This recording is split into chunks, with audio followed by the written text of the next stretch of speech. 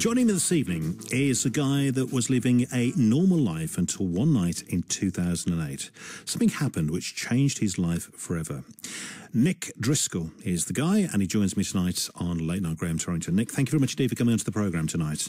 Thank you for the invitation, Graham. So let's go back to prior 2008 then. Uh, tell me about life. How was life? Um, life was good. You know, just as anybody else, you have your ups and downs, but generally overall, it was a it was a pretty good life. Fairly successful in business. And then 2008. How old were you in 2008? I would have been 35, Okay. 34, 35. What happened in 2008?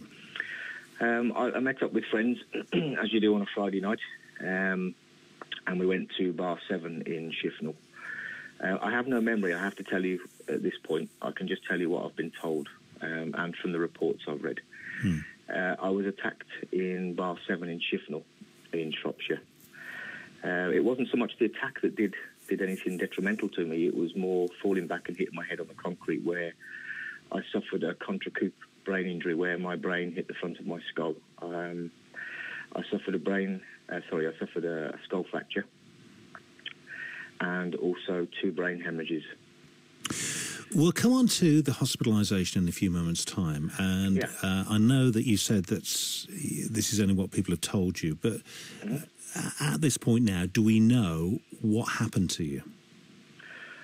Uh, in, in what respect, Graham? I just I only know that I was um, in relation to the attack. It was an unprovoked attack. Um, I play guitar and sing, and Bar Seven had become like a my local. So I'd taken a guitar, and we'd often sit around and with lots of people, we'd just have a bit of a sing song.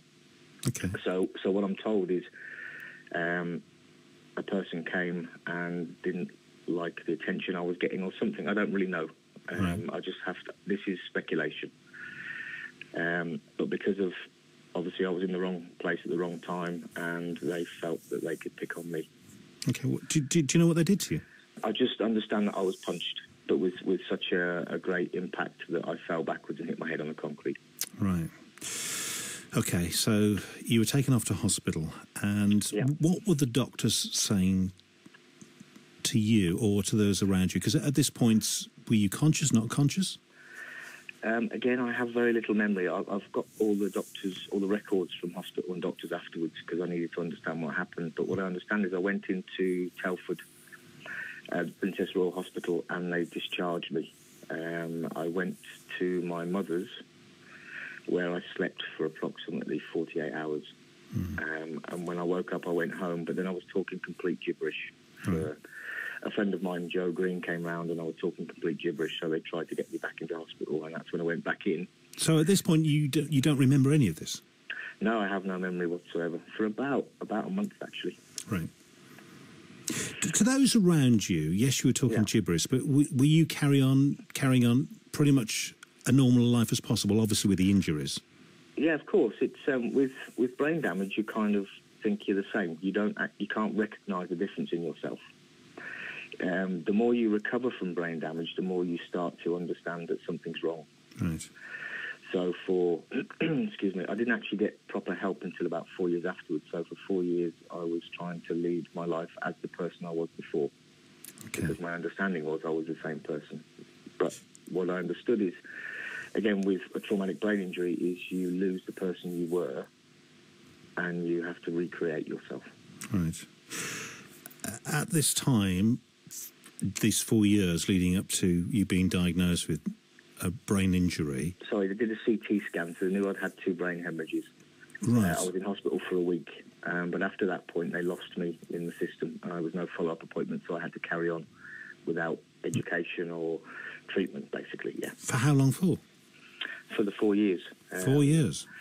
Yeah, they. Uh, I went to the doctors a few times, um, suggesting, you know, I've got this problem, I've got that problem. They sent me for MRI, and they spotted severe brain damage, like scar tissue on my frontal, right frontal and temporal lobes, um, but no follow-up sort of uh, treatment was was given to me at that point. And it wasn't until four years afterwards, where unfortunately I tried to take my own life, that um, social services got involved, and, and the wonderful people at West Park Rehabilitation Hospital in Wolverhampton took me under the wing and helped me rehabilitate, giving me education on what was actually going on. Quite a journey you've been through, really, then, isn't it? Yeah, yeah. Um, when when I got to, to the West Park Rehabilitation Hospital, what I understood was I was also going through severe depression, severe anxiety, as well as post-traumatic stress disorder. So you can imagine the sort of journey over four years of not not knowing what was wrong. It's like having a broken leg, but not knowing it's broken, just mm. just having the pain, basically. And once you started to get the treatment, what sort of treatment were you receiving? Uh, well, the first part was education. They um, they educated me about what was going on. So, if you imagine being in a, in a black room, in a dark room, trying to fight a black cat, you can't see it; it keeps scratching you. So, you, you can't do anything about it. You can't find a solution to something you don't know that's wrong. So, the first port of call was for them to educate me on what had actually happened, uh, as well as do some tests on my brain functions, where they spotted lots of different things the main the main thing was my brain was processing slower, so the memory issues were the biggest thing because I'd forget what I'd done. Mm. So the education came first, and they also helped. They came out and helped me at home. They helped me get into routines um, and and that sort of stuff. What about the people very close to you? Do you have a partner? Uh, I do now. At the time, I didn't, unfortunately. Okay. And what about those close to you, family, friends? What were they seeing uh, about you, who, and what have they said to you since then? Well, well, again, I think because they obviously understood I'd had brain hemorrhages, but the sort of severity of the brain damage was not diagnosed, and I wasn't getting help. Nobody really knew; they just knew I wasn't right, um, and they were kind of waiting for me to get better, just hoping that things would be okay. Right. Now, during this time, were you able to work? Um, on and off. Uh, I've, before before the brain injury, I was I was um, very successful in work and never never lost a job. But over a period of the four years, I lost. You know, I'd start a job, but then not be very good at it, or or the fatigue would kick in, so I'd get tired and not be able to process information correctly, things like that. So I was working, but it was on and off, very very sporadic. So financially, then, not a good time for you either. No, not really. No, it was a difficult time. And again, being successful, you're used to having a level of living. So not having that level of living was quite, um, what's the word? Disgruntling. Probably the best word. You mentioned getting to uh, a deep depression. T- tell me about those days and those nights.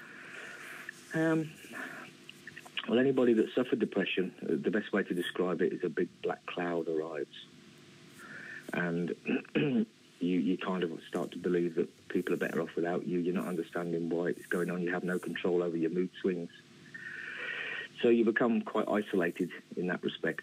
Um, over time, you remove yourself more and more from society. So the feeling of being helpless is probably the biggest and most obvious description I can give you. Helpless mm. and hopeless are the two words I'd use. Pretty dark days for you. Without question. Um, in, in, fairness, it's built me to the person I am today. I've become very empathetic, and in my work now, I help people. So it's it's the past is the past, but it shapes your future. What you do about the past is is what matters. Now, when did you realise you were actually starting to get better, then, Nick? It's it's a continual process, Graham. I've got to I've got to be honest with you. um, I'm I'm far further forward than I was four years ago, and every day, in every way, I get a little bit stronger and a little bit better. So I think when West Park educated me, understanding, it was almost like turning the light on in that room we spoke about, in the black room, so I could yeah. see the cat. So now I was able to avoid it. And, and things like coping strategies, um, you know this is going to happen, so therefore you do something before, etc., etc., etc. So probably four or five years is when things started to turn around and the slow journey of recovery began. What happened to the people who attacked you? Um, they didn't find them. They didn't find the person, unfortunately. Right. What do you think which, about again, that person? What do you think about that person? Uh, if you'd have asked me this question a few years ago, there was a lot of hatred um, and fear because because I didn't know who it was. The PTSD came because I would be out and I wouldn't know who it was. So it could be anybody. So I was very fearful that that person would recognise me and do it again. Right. But now I feel sorry for them. I feel, I feel sorry for them, and I feel you know sort of love towards them because they must be in a bad place themselves in order to have inflicted that on somebody else. At what point did you want to start helping people like you yourself? It's probably about about two or three years ago. Um, I started to understand that a lot of people have been through something similar, not necessarily brain injury, but um, you know the depression and the anxiety, for example. Um, and they were also going through similar journeys to me. So I began I began to train in things like clinical hypnotherapy, as well as uh, past trauma um, therapies uh, like IEMT, and and a little bit about sort of the psychology and things like that. Hmm.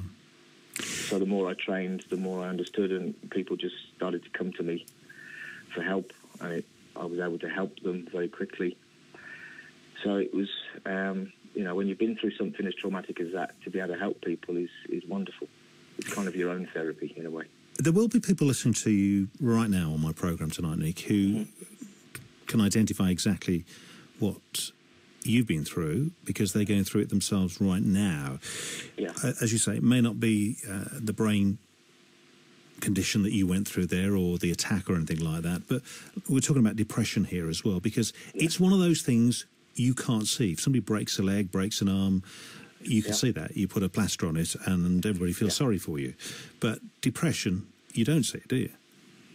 No, it's almost like an invisible disability, and also the the socially social perception of, unless you've suffered depression, the social sort of mentality of depression is to pull yourself up, dust yourself off, come on, pick yourself up, stop being so, so weak. Hmm. That's the broad sort of um, perception of uh, depression. We've all had a low day in our time. When it gets to the point where you can't pick yourself up because you no longer have the strength, that's when it turns into depression. Uh, and what do you need to do when you reach that point? get help and talk to people.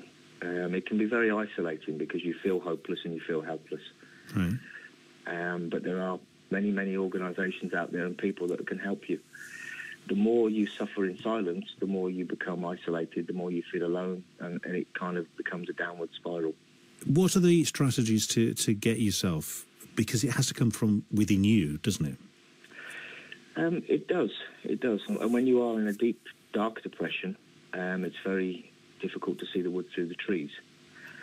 Um, my my advice to people is is just search deep inside yourself and find your inner strength because it's there somewhere. Right. You have new patterns of behaviour going on. You have um, chemical um, reactions that aren't normal in your brain. just have hope and belief that you can make a difference. And the, the change is only going to come from your actions.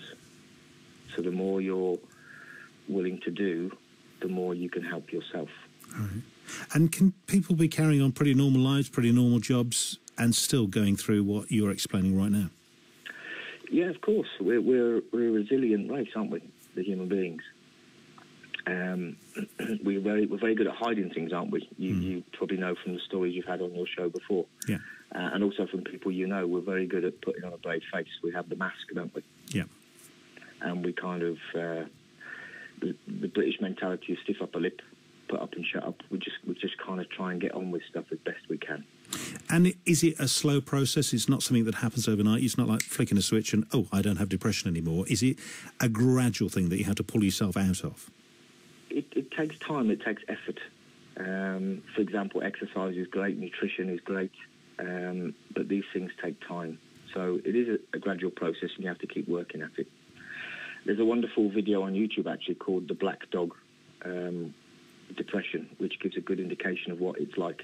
Okay. It's almost like you have to train the depression like a dog. Right. So well, well worth checking out if that's where you feel you are. Yeah, right without without question, it um, it helps people understand they're not alone. Because one of the biggest things of depression is you do feel on your own, and you do feel isolated. Finally, Nick, what about Yeah. you? How's your depression now, and what's your future? Um, it's it's it's got better. Obviously, we said before I have good days and bad days, um, but I'm aware of, of what, what happens during that time, and I'm aware of when it arrives and what I have to do to put it to put it right. Um, working with people has, has become my my mission in life to help them have relief from what I've been through and what they're going through. So it's very rewarding in the sense I, I help people and it, I see it working. It's wonderful. That must be very empowering to you. It is. If, if you can take the worst day of your life, which obviously on on April um, the 13th, 2008, was the worst day of my life in the following years. If you can take a negative experience and turn it into the best day of your life by doing something with that trauma, it's a good way to recover. Wow. Absolutely. Nick, it's been great to talk to you tonight on the programme, and I thank you very much, Steve, for coming on to the show tonight.